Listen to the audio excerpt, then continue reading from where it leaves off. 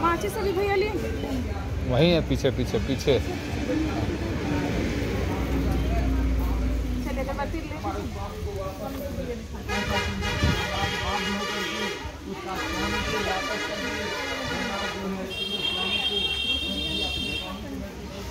पानी वाला वेट कर रहा है क्या आप लोग?